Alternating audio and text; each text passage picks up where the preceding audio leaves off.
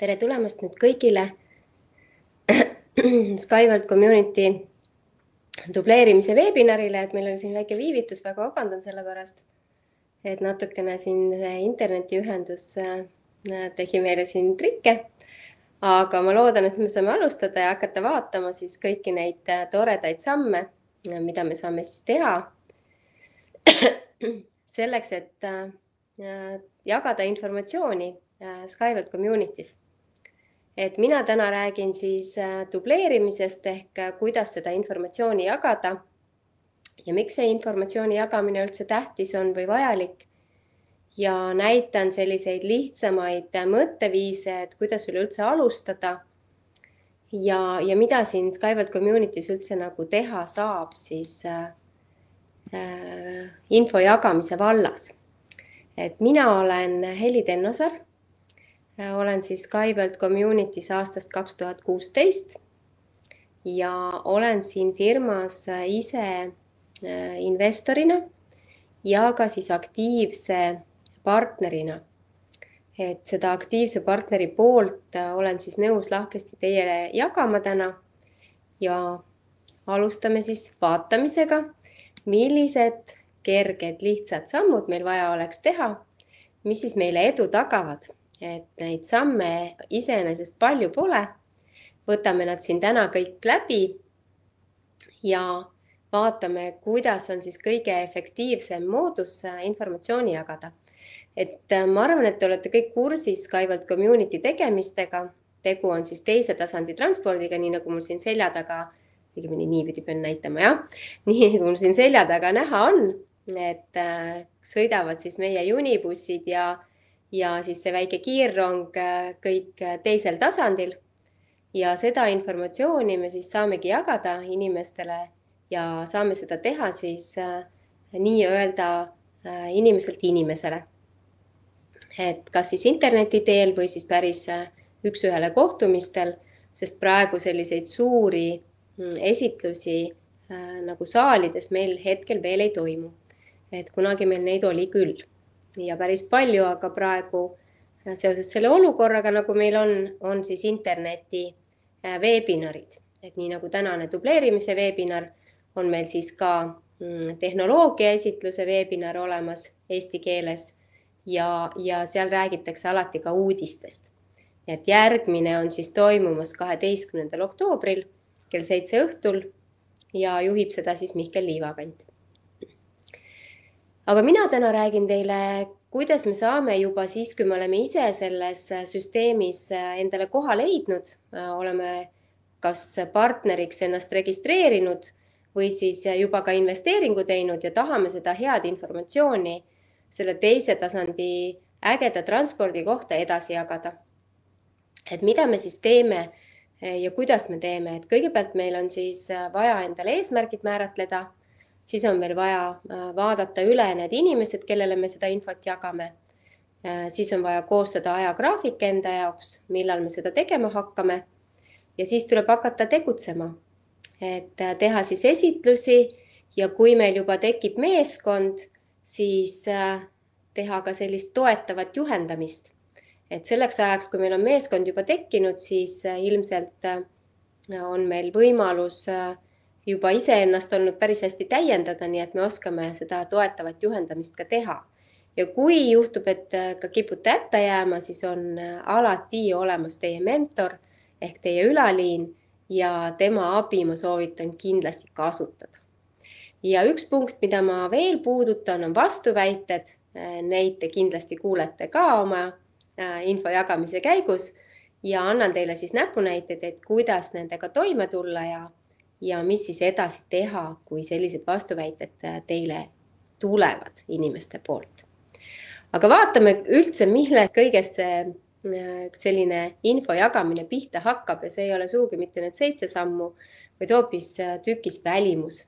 ja kui teie olete otsustanud Skyward Community infot jagada, siis teie olete selle firma visiitkaart ja inimestel esimene mulje firmast tekib vaadates teid. nii et väga-väga soovitan panna ennast korrektselt riidesse. Äh, siin on küll äh, pintsaku ja lipsuga mees, aga lipsu ei pea kindlasti olema, piisab ka triiksärgist ja pintsakust, kenast kampsunist ja naistel siis äh, samamoodi, kas kena kampsun, kostüüm, kleit äh, või, äh, või siis selline ka selline bluus, nagu kutsutakse büroobluusideks. Et ühesõnaga välimus peaks olema siis puhas ja korrektne ja mitte puhas ainult riietuse poole pealt, vaid ka hügieeni poole pealt. hoolitsege siis selle eest, et oleks maniküür ilusti laitmatu, juuksed kenasti soengus Äh, kammitud, pestud ja hoolitsege ka selle eest, et hingeõhk oleks värske, kui te lähete kliendiga kohtuma. Et on olemas erinevaid võimalusi, kuidas seda hingeõhku värskendada, et uurige neid võimalusi ja, ja pange endale midagi taskusse selle heaks. minul on olemas äh, täiesti sellised mõnusad äh, pisikesed piparmünditerakesed. selle ühe terakese saab suhu panna ja ongi, ongi hingeõhk kohe värske ja äh, mis ma siis veel soovitan, mm, millele tähelepanu pöörata, on parfüümid. Parfüümidega võib teinekord äh, alt minna, isegi kohtumised võivad ära jääda. Äh, kui teie parfüüm ei meeldi teie potentsiaalsele kliendile, siis, siis võib jah, see kohtumine nurja minna, nii et soovitan teil oma parfüümiga tagasihoidlikum olla, et pigem vähem kui rohkem ja võib-olla hoopis kasutada siis äh, apelsini eeterlikku õli, mis siiani, kui mina seda kasutanud olen, on saanud väga positiivset tagasisidet ja kellelgi pole olnud äh, niimoodi sellist äh, tunnet, et see neile ei meeldi, et pigem alati, alati on öeldud, et väga meeldiv värske apelsinilõhn. nii, aga vaatame, millise süsteemi järgi me saame siis oma eesmärke hakata määratlema ja see on selline äh, smart süsteem, mis, mis siis ütleb, et see on tark süsteem, kui me teda inglise keelest ümber tõlgime. Ja, ja aitab meil siis tõepoolest oma eesmärke sättida selle tähe järgi, ütleme siis, mis siin kirjas on, et S on siis äh, siin küll specific ehk siis justkui nagu äh, konkreetne äh, või määratletud, aga kui me ta eesti keelde tahame panna, selle äh, Smarti, siis mina ütleks, et S on selge. ja S tähendabki siis seda, et me teeme endale selgeks, kellega, kus, kuna, kuidas me mingeid asju teeme. et mis on meie eesmärgid Äh, just nimelt äh, selles vallas, äh, kuidas me infot jagama hakkame, et kes on meie meeskonnaliikmed, millal me nendega hakkame toimetama, kus me nendega hakkame toimetama. ja kõige tähtsam küsimus võib-olla, et miks me seda informatsiooni üldse jagama hakkame ja miks me omale meeskonda looma hakkame. et kui me need enda jaoks oleme läbi mõelnud siis äh, kõik asjad hakkavad liikuma, et äh, tavaliselt igasugune äritegevus algab otsuse tegemisest ja kui inimene on otsustanud, et ta tahab siin kaasa lüüa, olgu need põhjused siis äh, millised iganes, et neid võib olla erinevaid, miks inimesed siia süsteemi sisse tahavad tulla. aga eesmärk on infot jagada ja kui te olete seda otsustanud teha, siis asjad liikuma ka hakkavad ja teil tekib oma meeskond. nii et äh, see esimene siis on määratleda, kes, kus, millal, äh, kuidas, äh, miks ja mis saab pärast. ehk siin võiks olla siis ka väikesed sellised pikema aja plaanid sees. nüüd teine täht on M-täht ehk mõõdetav ja see tähendab nüüd seda, et meie eesmärgid võiksid siis olla mõõdetavad. et meie äh, eesmärgid võiksid siis olla niimoodi paika pandud, äh, nagu näeb karjääriredeli plaan ette. et meil on siin olemas staatused. Mm, kõige madalam staatus on liidri staatus, kui rääkida partnerlusprogrammist. ja kõige kõrgem staatus on Sky ekspert et äh, võiks siis olla selline esimene eesmärk paika pandud, et on siis liider ja kui me oleme selleni jõudnud, siis on see justkui täidetud ja see eesmärk on siis muutunud mõõdetavaks täielikult. või siis, kui meil on mingid tegevused, me paneme tegevused paika ja ajalisse järjestusse ja siis on võimalik ajalises järjestuses ilusasti neid tegevusi ka järjekordselt mõõta. nii, siis äh, järgmine täht ehk A-täht tähendab aktuaalne. et äh, aktuaalne tähendab seda, et meie eesmärgid peaksid olema kooskõlas siis meie nii-öelda missiooniga.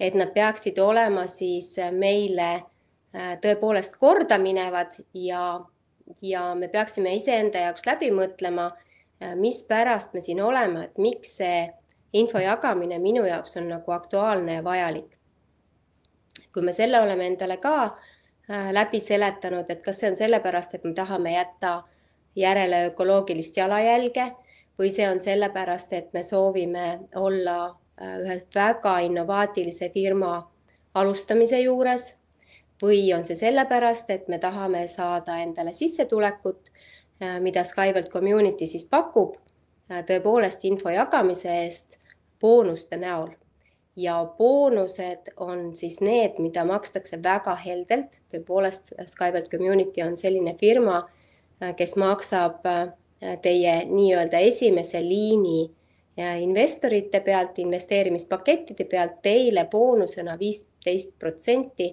selle paketi suurusest. ehk siis, kui inimene, kes on teie tiimi tulnud, teeb investeeringu, mis on tuhat dollarit siis äh, sada viiskümmend dollarit on teie töötasu selle eest. et igal kümnel juhul on see väga-väga äh, mõistlik äh, summa ja mõistlik raha ja väga õigeaegselt maksab Skyward Community ka oma palkasid välja ja need tulevad siis meile isiklikesse kabinettidesse. nii et kes veel ei ole registreerinud tänaseks, registreerige omale kabinet ära. võtke partnerluse alt registreerige ka partnerluslepe ära ja teile hakkavad siis tulema boonused, kui te jagate informatsiooni ja teile tuleb siis äh, inimesi äh, siis teie tiimi ja teil on siis investoreid. nüüd äh, R-täht tähendab siis reaalselt saavutatav ja see on siis sellepärast siia sisse toodud, et me ei paneks endale utoopilisi eesmärke. Et meil on ajaline järjestus, meil pole võimalik äh, tavaliselt teha äh, mingisugust tööd ära, et jõuda, ütleme, kõige kõrgema staatuseni, Sky eksperdini. ei, äh, ei suuda me ära teha asju siis niimoodi, et meil oleks nagu äh, kohe esimese nädalaga see tehtud. Aga me saame selle panna pikema perspektiivi peale küll. et meil on tõepoolest võimalik siis äh, teha ära see Sky ekspert siin aastaga või, või poolega või pooleteisega. nii, et seda ma olen näinud, aga kuu ajaga ma tõesti pole näinud kedagi ära tegemas sellist, sellist staatust nagu Sky ekspert, et kahjuks veel ei ole, muidugi võimalik on, et, et keegi ära teeb. aga esialgu soovitan panna siis selliseks esimese nädala sel-, selliseks eesmärgiks endale liidri staatus. liider tähendab siis seda, et teil on olemas kolm, kolm klienti, kes on teinud investeeringu vähemalt kahesaja dollari ulatuses ja te ise olete ka teinud investeeringu kahesaja dollari ulatuses. Ja tõhtäht tähendab siis täpsustatud ajakava, äh, mis on siis äh, äh, hea selleks, et te saaksite oma aega planeerida ja me vaatamegi seda ajakava planeerimist nüüd natukene lähemalt. et meil oleks siis veidikenegi ülevaadet kuhu me siis liikuda saame. et siin on üks kena aja, aja planeeringu pilt, kuidas üks äh, kontoritöötaja on siis kohe kella peale joonistatud, aga vaatame siis lähemalt ka seda, et millised plaanid võiksid meil olla. et plaanid võiksid olla siis nii, et meil on igapäevased tegevused, igapäevaste tegevuste nimekiri on paika pandud. meil on plaan nädalaks, kuuks, kuueks kuuks, aastaks ja miks mitte siis ka viieks aastaks, võib-olla isegi kümneks. et äh, hea on siis teha ka neid pikki plaane, et anda oma nii-öelda alateadvusele teada, kuhu me jõuda tahame ja mida me soovime üleüldse, et meil elus liikuma ja toimuma hakkaks. Äh, selleks, et plaane teha, võime me kasutada äh, näiteks sellist mappi, mis on dubleerimise mapp. Skyward Community'l on väga hea ja mõnus mapp välja antud seal on sellised mõnusad lehed sees, see on kohe kompaktselt ühte köidetud. Seal on nii eesmärgid kui ka siis nädalaplaan olemas, kui ka siis näidised, kuidas helistada ja veel, veel palju-palju muud. nii et neid mappe saab siis minu käest, saab Eve ja Raivo Stenmani käest ja saab Mihkel Liivakandi käest, et meil neid mappe praegu veel on, nii et küsige julgelt ja siin ongi siis võimalik panna endale kirja äh, näiteks äh, kolm eesmärki esimeseks kuuks, kolmeks kuuks ja aastaks. Et äh, see oleks nagu kogu aeg justkui ühes kohas koos ja siis me saaksime jälle iga natukese aja tagant üle vaadata, kas me ikka liigume oma eesmärgi poole, et kuhu me siis jõuda soovime. kui nüüd rääkida sellisest nädala või igapäevasest plaanist, siis võib selleks äh, kasutada ka kalendermärkmikku loomulikult, aga äh, minule meeldib jälle väga see Skyward Community äh, nädalaplaan, kus on kõik nädalapäevad esindatud, kellaajad ka päris hilisõhtuni kohe välja. ja seal all on tegevuste nimekiri. Ja seda kasutada on siis imelihtne, näiteks esmaspäeva peale kella kümne peale kirjutate inimese nime, panete sinna näiteks Mari. Ja sinna alla kirjutate kella, tähendab alla number ühe peale kirjutate tegevuse, mida te teha tahate siis eh, selle inimesega kell kümme hommikul. kas te tahate talle helistada ja rääkida, kutsuda teda veebinarile või tahate midagi muud, siis selle tegevuse kirjutate sinna alla esimese rea peale, et näiteks kutsumine veebinarile kutsumine esitlusele, esitluse tegemine, näiteks number kolm, eks ju, number kolm on esitluse tegemine. Ja siis vastavalt selle numbri, mis tegevust te teete, panete siis selle inimese nime järele ja siis te teate ja kõik on kompaktselt teil silma ees koos. ja mis ma veel soovitan tehagi siis neid nädalaplaane reede õhtuti, siis kui juba on mm, ütleme nädal läbi, saate kokkuvõtte ka ära teha, kuidas teil nädal läks ja nädala, järgmise nädala uued plaanid valmis teha. et siis äh, on justkui kõik värskelt meeles ja teate, mida te järgmisel nädal teha tahate. ja ei pea hakkama mõtlema pühapäeva õhtul juba, et oi jah, et homsest on äh, vaja hakata tegevusi tegema ja, ja see pidi olema siis äh, nagu rohkem positiivsem, kui teha see plaan valmis reedel. nii et äh, selliseid tööplaane tuleb siis teha viimasel tööpäeval, et saaks nädalavahetusel rahulikult puhata. Järgmine samm oli meil siis äh, saja inimese list ehk siis me hakkame nüüd vaatama läbi kogu oma isiklikku võrgustikku, sest need inimesed on need, kellele me informatsiooni jagama hakkame ja nemad on siis äh, meie potentsiaalsed kliendid ja partnerid. Äh, kuidas äh, koostada saja inimese nimekirja, on väga lihtne. sinna võiks panna niimoodi kirja inimeste nimed sellise kolme nagu ringi kaupa. et esimene, teine ja kolmas ring. et esimesse ringi kuuluvad siis kõik need inimesed, kes teile kohe Äh, ilma igasuguste mõtlemisteta või, või abivahendite kasu, kasutamisteta pähe tulevad. Nii et kohe esimene nimi, mis pähe tuli, panete paberi peale kirja.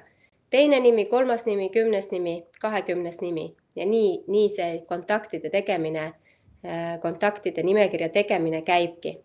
et panete kirja pärast sinna ka veel siis emailid ja telefoninumbrid. nüüd teise ringi kontaktide tegemiseks saategi võtta appi endale siis äh, hmm, mobiiltelefonid äh,, sotsiaalmeedia jah, emailid Facebookid, Telegramid, mis iganes meil siin olemas kõik on, Whatsappid. et neid äh, sotsiaalmeediakanaleid on palju ja sealtkaudu siis leiate äh, veel endale sinna nimekirja inimesi juurde. väga hea, kui sinna tuleks vähemasti sada nime, alati võib seal olla rohkem, et ise olen näinud äh, kohe mitmesaja nimelist kontaktide listi ja olen ka näinud sellist, mis on täiesti nii ära kasutatud, et see on nagu läbi loetud äh, vana ajaleht. Mm, ja, ja seal on väga-väga palju nimesid ja, ja ikka veel toimib, ütles mulle see, see, kes selle äh, kontaktide nimekirja omanik oli, ütles, et ta ikka veel kasutab sedasama nimekirja. et see on küll aastaid vana, aga ta ikka veel kasutab. Ja kolmas ring võiks olla siis sellised kontaktid, kes on täiesti uued kontaktid Äh, need inimesed, kes satuvad meie ellu äh, praegusest hetkest edaspidi. Äh, ükskõik siis, kus me neid kohtame. kindlasti küsige kontakte, sest et me ju ei tea kunagi, millal meist võivad saada koostööpartnerid, mis sest, et me nägime seda inimest esimest korda seal võib-olla poe järjekorras ja sattusime juttu ajama. et vahetage kindlasti telefoninumbreid. Et inimesed ongi siis need Äh, kes, äh, kes on teile väga-väga vajalikud just info jagamise mõistes ka. kui kontaktide nimekiri on olemas, siis äh, on selline süsteem, mida meil tuleks nagu järgima hakata. et kontakte siis kasutame selleks, et kutsuda inimesi osalema praegu nüüd siis veebinaril. Et kindlasti tulevad tulevikus ka tutvustavad loengud Eh, ehk siis eh, presentatsioonid, esitlused. aga hetkel on meil siis veebinarid jah, kaks korda kuus on siis eestikeelne tehnoloogia tutvustus ja kaks korda kuus on siis eh, ka dubleerimise veebinar. ja kolmas samm, mida me siis peaksime kindlasti ka endale selgeks tegema, on järeltöö, et, et mitte ei ole lihtsalt, et ma kutsun inimese veebinarile ja saan linnukese kirja vaid et äh, selle inimesega tuleb ikkagi ka edasi suhelda, äh, temaga järeltööd teha ja ta ka siis süsteemi äh, kaasata. ja pärast siis, kui ta on meil tulnud siia siis kas investoriks või partneriks, siis teda ka toetada, et tal tekiks endal julgus ja tarkus samamoodi informatsiooni jagama hakata. Et vot sellised nagu ütleme, skeemi järgi sammud on vaja siis teha äh, selleks, et äh, hakata looma siis oma meeskonda, et saaks veel efektiivsemalt informatsiooni jagada. sest kui me jagame informatsiooni üksinda, äh, siis meil see võimendus justkui nagu sealt tagant puudub. et meil on vaja luua meeskond, et mitmekesi me jagame siin seda informatsiooni palju kiiremini ja kõikidel on sellest palju rohkem kasu nüüd vaatame, kuidas saab siis inimesi kohtumistele kutsuda.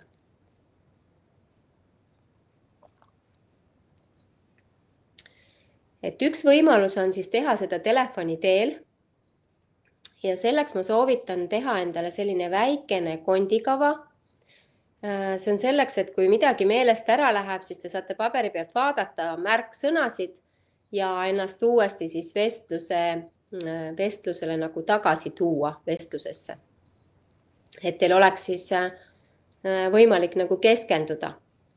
ja, ja see aitab siis ka teil saavutada eesmärki, et vastavalt sellele, mida te siis, millist kõnet te teha soovite, võite siis mitu, mm, mitu sellist äh, etiketti endale valmis teha.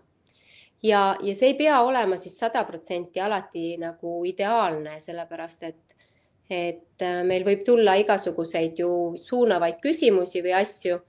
Mm, et Äh, kui meil need küsimused äh, tulevad ootamatult, siis äh, meil võib, võib minna nii, et meil päris selle etiketi järgi ei lähegi.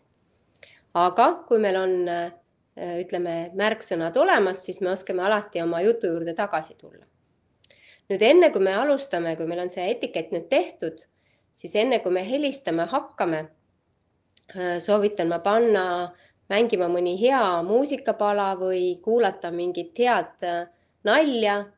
ühesõnaga luua endale tuju, sest kui te teete midagi hea tujuga, siis see kõlab ja kostab teisele poole välja ka läbi teie hääle. et see on kummaline, aga nii see, nii see töötab.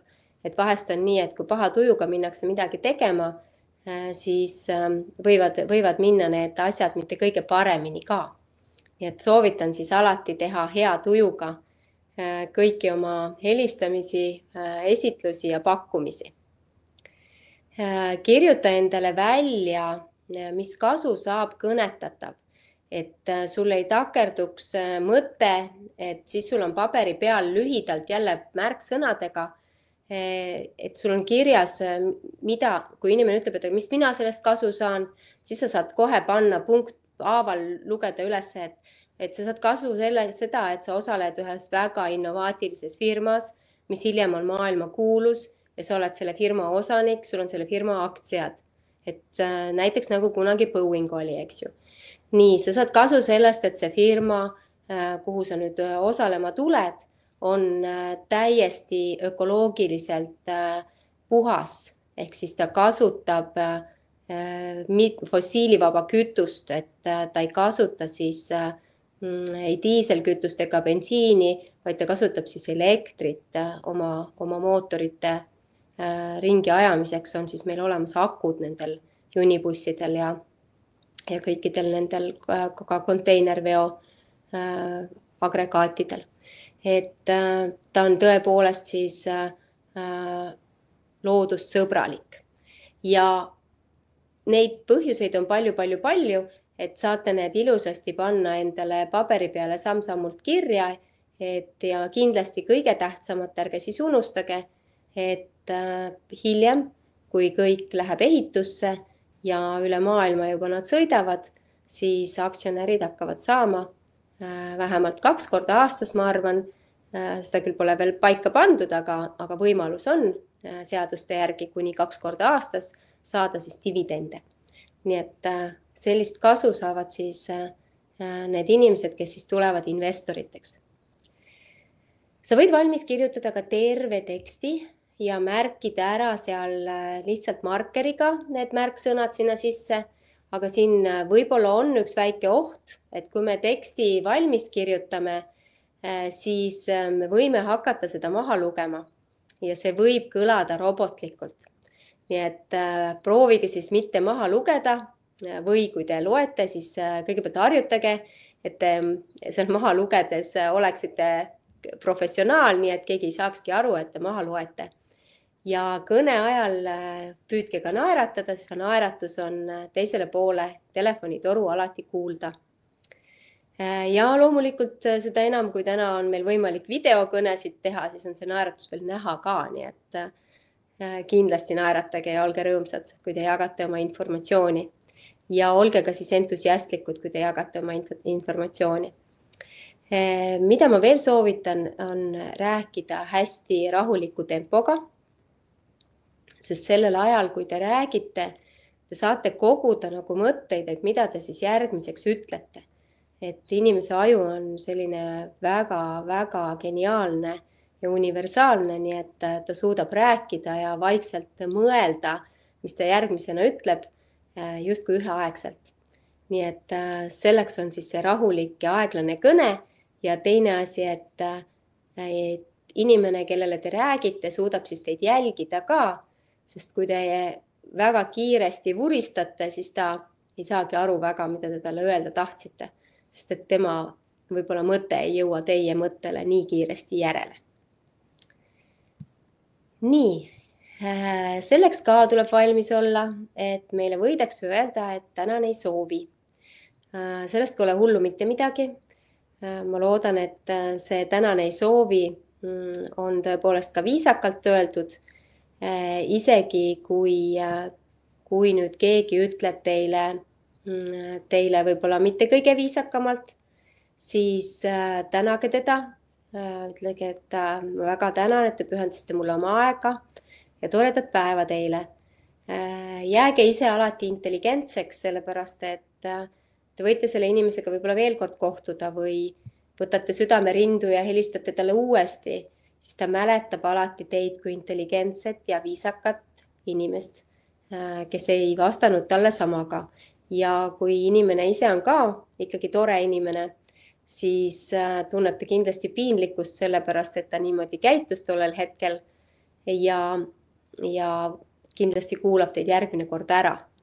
Äh, aga kui teil nüüd ongi niimoodi, et öeldi ei, siis minule meeldib näiteks niimoodi mõelda, et väga võimalik, et ma tabasin sellist momenti, kus inimene ei saanud rääkida, tegeles millegi muuga ja ei tahtnud ega saanud keskenduda ja vastas mulle sellepärast ei.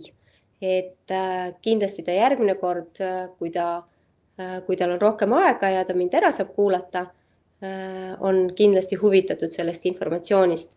Et jätke endale alati selline positiivne mõtlemine sinna, et see ei ei olnud tegelikult see, äh, mille pärast teile ei öeldi. et äh, informatsioon ise on väga hea, inimesel lihtsalt sellel hetkel puudus äh, võib-olla see teadmine, mida talle jagama tahetakse hakata, sest täna helistatakse ju väga paljudest ettevõtetest ja muudkui pakutakse mingeid asju. Ja kui ta teid ei tunne, siis ta ei pruugi teid nagu kohe võib-olla äragi kuulata. aga võis ka juhtuda niimoodi, et äh, tõepoolest tal ei olnudki aega. ja kui nüüd juhtub nii, et ta ikkagi teiega räägib ja see teema on, et tal ei ole aega, et ei, ma ei soovi, mul pole hetkel aega, siis leppige kindlasti kokku järgmine võimalus, küsige, millal te võite talle uuesti helistada, millal tal teie jaoks on üks viis kuni kümme minutit aega. Ja üldjuhul te saate selle uue telefonivestluse aja, pange see kalendrisse kirja ja helistage siis kindlasti soovitud ajal või kokkulepitud ajal. ja ärge siis hilinege jah, et püüdke siis täpselt seda teha. nüüd telefonikõnedest endast, neid oleks vaja siis harjutada ja iga harjutamine teeb meistriks. ja mis ma siis siin muud saan öelda, kui võtke mõni pereliige või sõber endale appi ja proovige koos temaga harjutada miks see parem variant on? Mm, sellepärast, et äh, ma olen täiesti veendunud, et iga pereliige tahab teile abiks tulla äh, ja vahest ka mõne vimka sisse visata, et teid natuke praadida nende telefonikõnede käigus, mis on mängukõned. ja mine tea, võib-olla ongi see järgmine teie potentsiaalne partner just seesama pereliige, kes siis Äh, kuulates seda informatsiooni, saab ise targemaks ja ütleb, et ohoo, miks sa mulle ei pakkunud. Äh, ma ka tahan seda informatsiooni äh, ju edasi jagada ja et see on väga äge asi, mis päriselt ka on väga äge asi. et Skyward Community tooted ja see teise tasandi transport ongi tulevikutransport ja väga-väga äge ja võimas asi. nii et teie pereliige võib siis ka teiega ühte paati hüpata või, või lähim sõber näiteks aga kui nüüd juhtub nii, et tõepoolest ei ole mitte kellegagi, äh, mitte kellegagi ei ole harjutada, siis äh, õnneks on meil äh, lindistavad mobiiltelefonid, mis teevad lausa videosid. saate panna endale mm, selle telefoni kusagile ülesse lindistama ja teete sellist kõnet iseendaga. Miks see jälle hea on? sellepärast, et saate näha iseennast Äh, saate kuulda oma häält. Äh, ja saate teada, kas teil on äh, näiteks parasiitsõnu või saate vaadata, kas teil on mingeid liigutusi, mis teile endale esmapilgul üldsegi ei, võib-olla ei meeldi.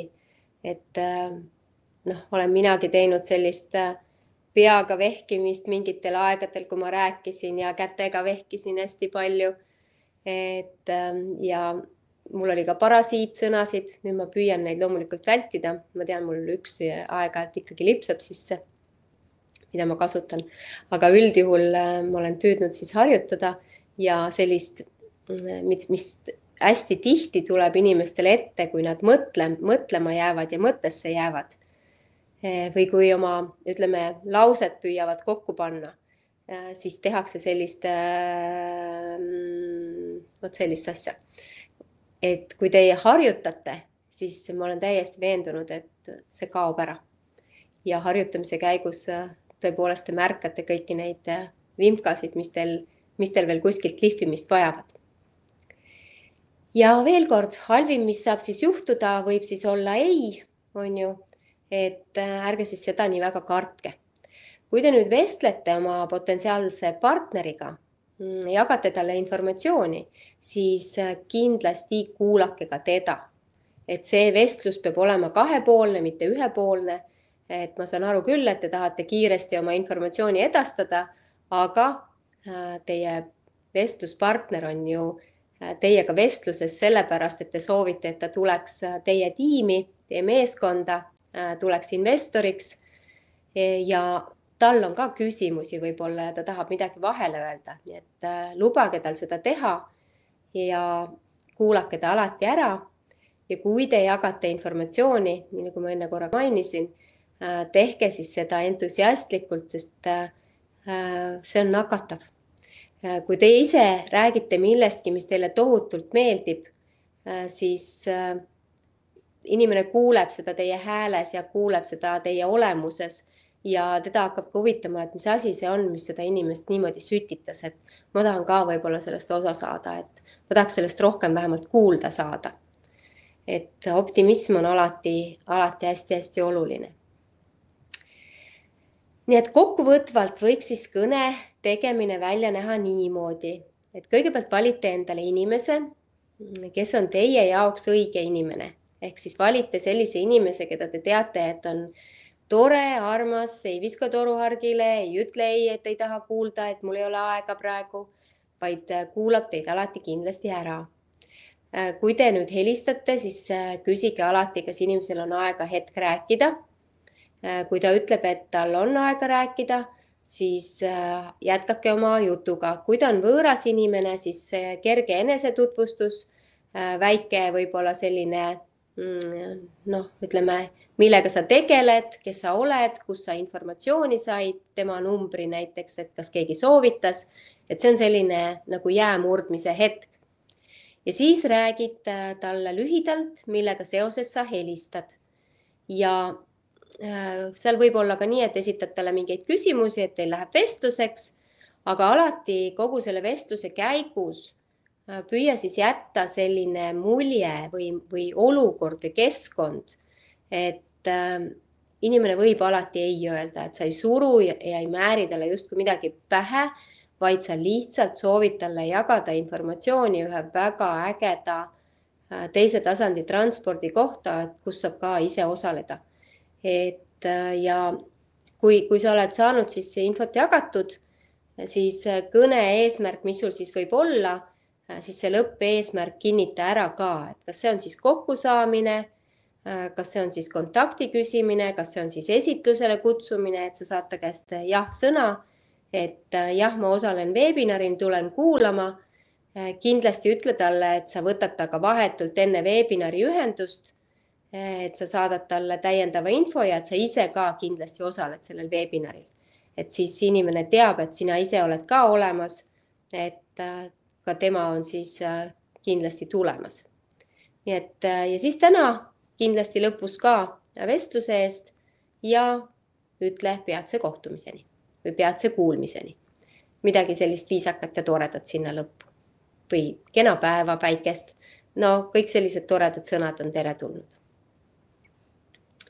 nüüd, äh, kui läheb siis tehinguteks, siis sõltuvalt, mida me teeme, mina toon siin välja nüüd ühe näite invest-, investorite nagu sellise paketi tegemise puhul. aga esimesena toon ma siia näite mm, partnerlus, kuidas uurida välja, kas inimene on partnerluseks nagu valmis. ja Äh, kõigepealt alati küsitakse loomulikult projekti kohta, et kuidas see projekt meeldib, äh, mis kõige rohkem meeldib, mis tähelepanu tõmbas. Ühesõnaga väikene selline jutt äh, selle kohta, inimesega vestlus. Ja siis tehke selline väike provokatsioon, et küsige, et kui oleks kümne palli skaala meil siin kõrval, et selle informatsiooni järgi, mis, mis te juba nüüd teate, et kuhu teie paneksite ennast selle huvi, et kas te tahaksite rohkem sellest firmast teada ja kas te tahaksite selles firmas ise ka kaasa lüüa, et, et milline on teie huvi, et pange kümne punkti skaalal see kümne palli süsteemis paika. Äh, see annab teile informatsiooni selle kohta, et kui palju inimesel huvi on.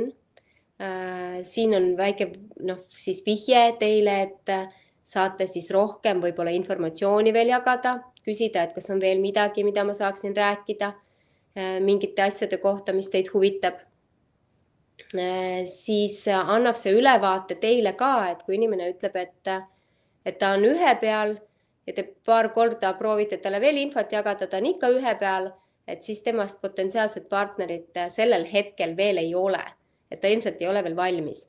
aga see ei tähenda, et ta tulevikus ei võiks olla, et igal inimesel on äh, oma aeg, millal ta nii-öelda on valmis äh, tulema teiega ühte tiimi. ja kui see on siis seal kuus või seitse, siis te saate jälle aimu, et inimene on põhimõtteliselt valmis ja küps teie partneriks tulema. siis oleks järgmine küsimus, kui inimene tuleb partneriks, äh, siis ta hakkab siin saama boonuseid. et kui suur summa võiks olla siis see, mida ta kuus teenida võiks. Äh, ja katsuge jääda siis nii-öelda mõistlikkuse piiridesse, et see summa siis oleks esialgu äh, ikkagi väiksemate numbritega ja siis ajas kasvab, et loomulikult võib see ühel hetkel olla ka sada tuhat kuus Äh, meil on Skyward Community's neid inimesi, kes selliseid äh, palkasid kuus teenivad päris, päris palju. et äh, esialgu on nemadki alustanud sajast eurost, tuhandest eurost kuus, nii et kõik tuleb siis samm-sammult. järgmine asi, mida uurige kindlasti välja, kui te otsite omale partnerit, kui palju inimene üldse aega on nõus panustama, et sellist summat saada. Äh, kui inimene käib välja, et ta tahab teenida tuhat eurot kuus ja ütleb, et ma panustan tund aega nädalas, äh, siis äh, seda on ilmselgelt vähe, et selle ajaga inimene ei suuda, teie uus nii-öelda partner ei suuda isegi ennast kurssi viia selle informatsiooniga, mida tema siis jagada võiks üleüldse mm, teistelegi. kui ta ütleb selle numbri, et no ütleme kolm-neli tundi päevas Äh, või, või isegi paar tundi päevas, siis on loota potentsiaalset partnerit. Äh, järgmine küsimus võiks, võiks olla selline, et, et näidata oma toetust sellele inimesele, et kui palju aega te nõus olete panustama siis koos minuga siin Skyward Community's. et kui mina olen ka nõus panustama oma aega selleks, et teil läheks paremini, äh, kui palju siis oleksite nõus oma aega panustama noh, siis inimene pakub võib-olla ilmselt rohkem tunde välja. Ja kõige viimane äh, oleks siis selline pakkumine inimesele, et kui mina olen nõus panustama kümme tundi nädalas, kas siis ka sina oled nõus panustama kümme tundi nädalas järgmise poole aasta jooksul, et saada sinule sellist sissetulekut nagu tuhat eurot kuus. noh, või kaks tuhat eurot, täna on see tuhat juba Äh, võib-olla nagu väike number, et kaks tuhat eurot on selline, äh, ütleme, selline keskmine hea palk juba. Et, äh, et kas sa siis oleksid nõus minuga koostööd tegema? siis hakkavad inimesed mõtlema, sest et teie olete sellel hetkel ikkagi nii-öelda tema mentor, kes teab asjadest palju rohkem. ta näeb, et tal on tugi olemas, abi olemas, et ta ei pea üksi hakkama seda jalgratast leiutama, vaid ta saab teie abi ära kasutada ja kindlasti on ta parema meelega nõus äh, teie tiimi tulema. ja siis, kuidas me saame koostööd alustada, et kas teeme äh, veebikabineti ära või registreerime siis äh, partnerlusleppe ära, et, et millise, noh, millises järjekorras neid asju teha, et selle juba lepite siis jooksvalt kokku. nüüd, kui on investorlusega tegemist Äh, siis alati kõik sellised küsimused, mis, äh, mille vastused on jah, äh, suunavad koostööle, eks ju.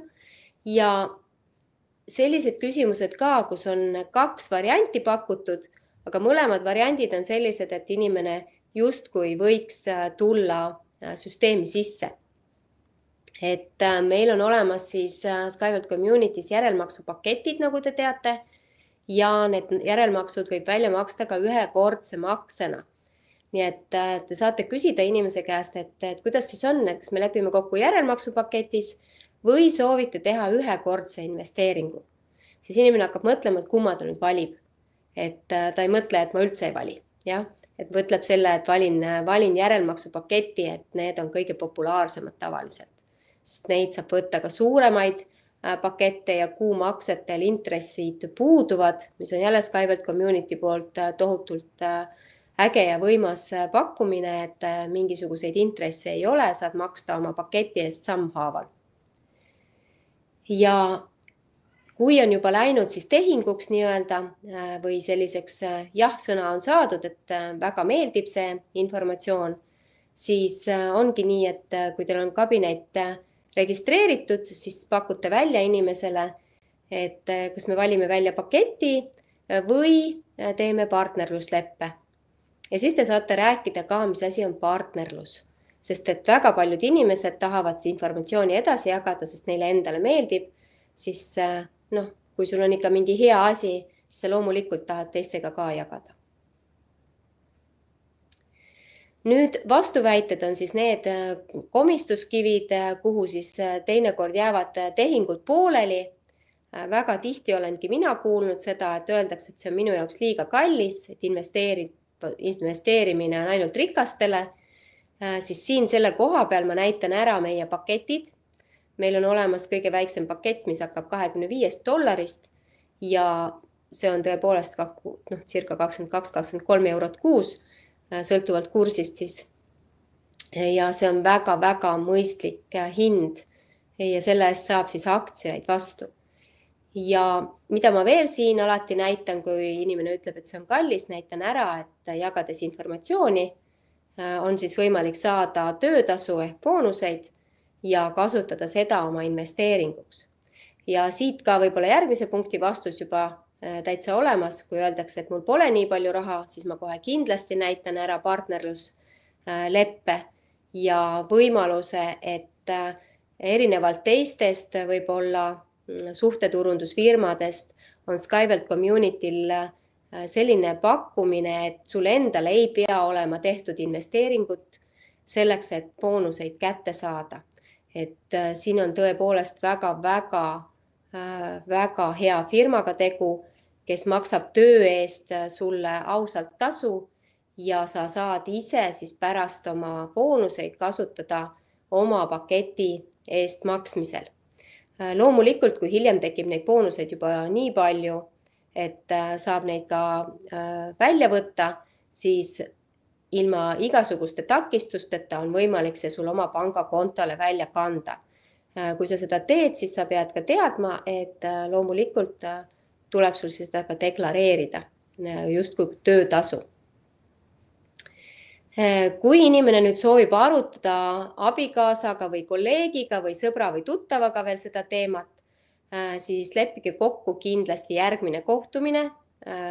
las ta kutsub oma sõbra või tuttava või, või abikaasa kaasa ja ütle, et loomulikult ma tahan ka neile näidata, kuivõrd äge firma see on, kuivõrd väge informatsioon see on, kuhu Äh, kuhu ma sind, äh, äge firma, kuhu ma sind kutsun ja äge informatsioon, mida ma tahaksin siis ka sinu tuttavale või sõbrale või abikaasale jagada, et näidata, mis kasu tema sellest tulevikus saab.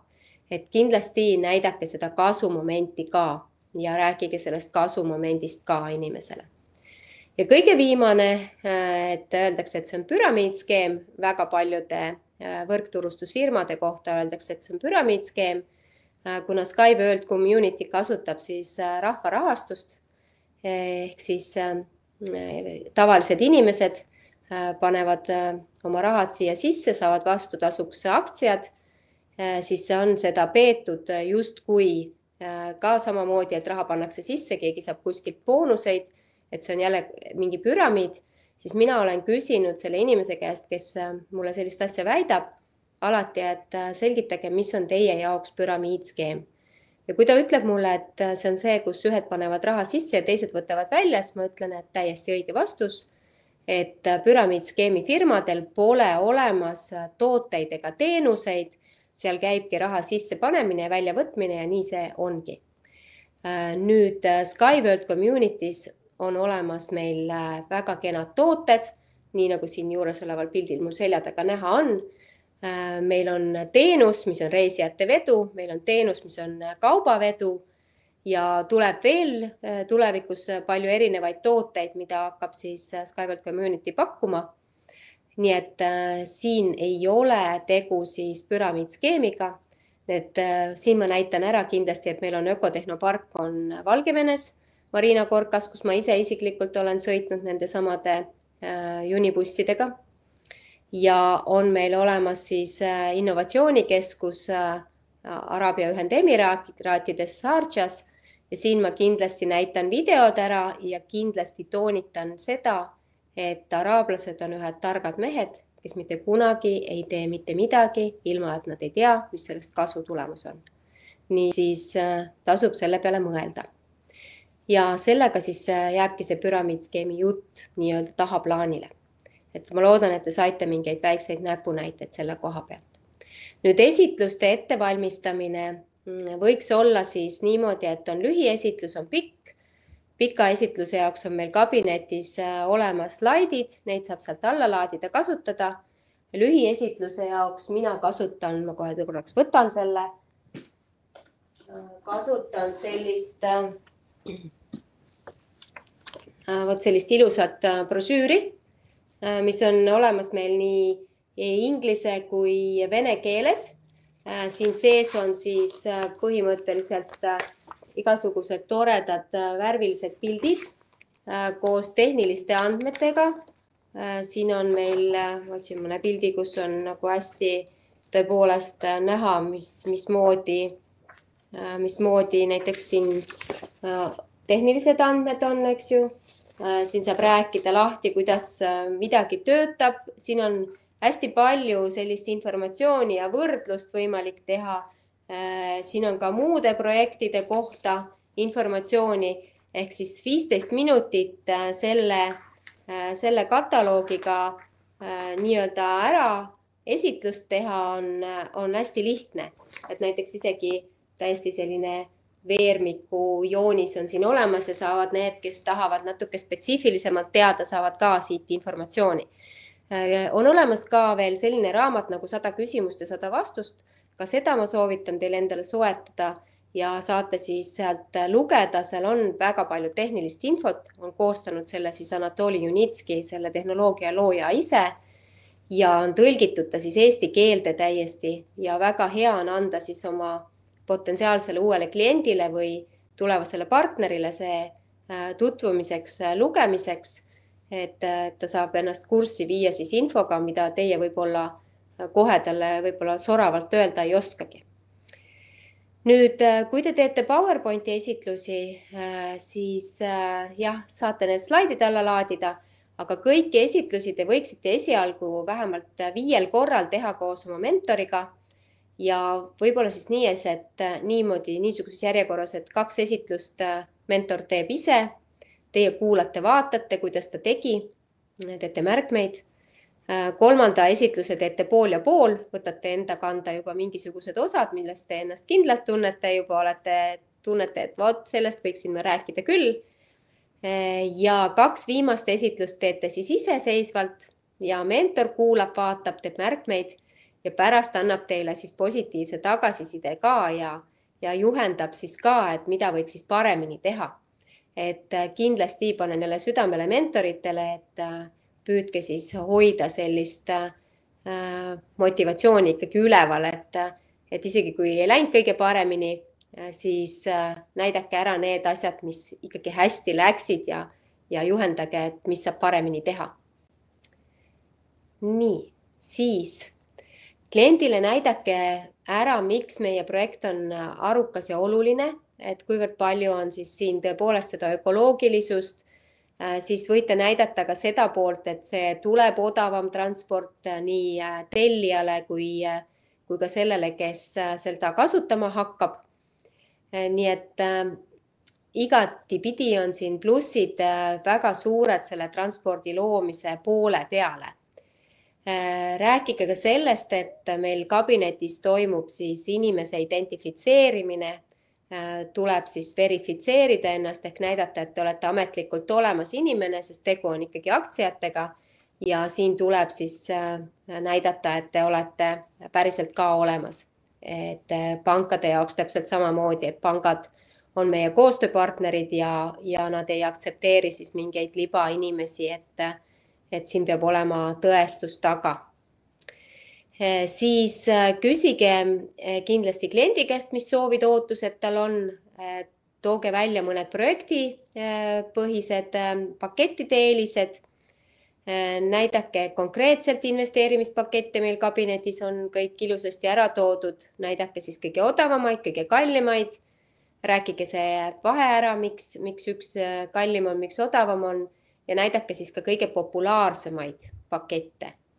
Äh, rääkige siis, kus näeb arenguetappide kohta lugemist, selgitage, et meil on viisteist arenguetappi, et siis on, äh, siis on meil nii-öelda aktsiad läbi müüdud, kui see etapp lõpeb. praegu me oleme peaaegu neljateistkümnendas etapis, nii et ega meil siin on lõpuni väga vähe jäänud ja kindlasti näidake, kuidas saab registreerida omale kabinet ja kuidas saab allkirjastada partnerluslepe. et sellised sammud tehke siis oma äh, kliendiga kindlasti ära. Äh, kasutage siis erinevaid äh, selliseid visiit, visiit, visiitmaterjale, reklaammaterjale et visiitkaart ajas mu kohe niimoodi segadusse, väga vabandan.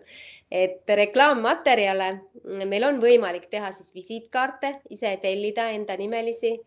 meil on olemas äh, plokknoote, meil on olemas pastakaid. meil on olemas sellised brošüürid, äh, hästi ägedad, mida saab äh, võtta endale esitluste ajaks kõrvale. see näitab ka firma usaldusväärsust, kui on olemas reklaammaterjale.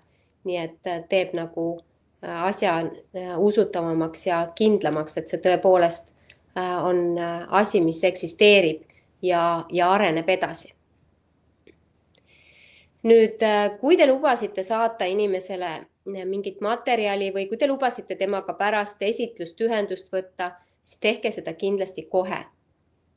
et see näitab jälle seda, et te hoolite inimesest, peate oma sõna ja teine asi, väga oluline Äh, on teil teada see, et äh, statistika järgi, äh, kui te päeva jooksul suhtlete või päev pärast esitlust suhtlete, siis inimese nagu info, mis tal meeles on sellest kõigest on seitsekümmend protsenti ja potentsiaal, et ta teiega ühte paati tahab tulla, teiega ühte tiimi tahab tulla, teie partneriks tulla, on täpselt samamoodi seitsekümmend protsenti. mida kaugemale see suhtlus jääb, seda väiksemaks see Äh, võimalus see läheb, et äh, see inimene mäletab, millest me rääkisime või mida ta kuulas. ja äh, ka see, et ta tahab tulla võib-olla teie meeskonda. nii et kiire suhtlus hoiab siis inimesed maha jahtumast. nii et soovitan teile ka, hoidke oma kliente nii, et nad ära ei jahtuks, vaid kogu aeg hoidke klientide kontaktid soojad mina tänan teid osalemast, et äh, järgmised veebinarid on siin teie ees. Äh, tehnoloogia tutvustus on juba kaheteistkümnendal oktoobril äh, kell seitse õhtul ja dubleerimise koolitus on kahekümne esimesel oktoobril, mis on neljapäevane päev kell seitse õhtul. ja saate siis tulla mõlemaid jälle kuulama, kaasa võtta jälle oma sõpru-tuttavaid ja kindlasti Äh, kindlasti osalege ja kuulake, äh, kuulake neid äh, veebinare, sellepärast et tehnoloogia tutvustusel räägitakse sellistest uutest, uutest uudistest ka. Ja mina räägin siis jälle dubleerimise osa üle, et teil oleks nagu mõtted, kuidas hakata tegutsema ja toimetama. ja mingil hetkel me hakkame kindlasti tegema ka Äh, konkreetseid samme ja õpetama äh, konkreetselt, kuidas informatsiooni jagada. aga praegu siis jah, selline väike kondikava teile väga,. väga-väga toredat äh, õhtu jätku teile. Mõnusat homset reedest päeva ja, ja lahedat nädalavahetust. puhake toredasti. praegu on ilm veel mõnusalt selline soe sügisene et kasutage siis seda ka õues viibimiseks. ja mõelge siis kindlasti ka, ka SkyWorld Community peale, sest Sky, ka SkyWorld Community aitab siis seda maailma paremaks teha, et meie õhk oleks värskem ja loodus nii-öelda rohelisem. ja tõepoolest äh, see on asi, milles te võiksite siis kaasa lüüa kõik ja siia tõepoolest inimesi juurde kutsuda ja seda informatsiooni jagada. kõike, kõike toredat teile ja meeldivat õhtut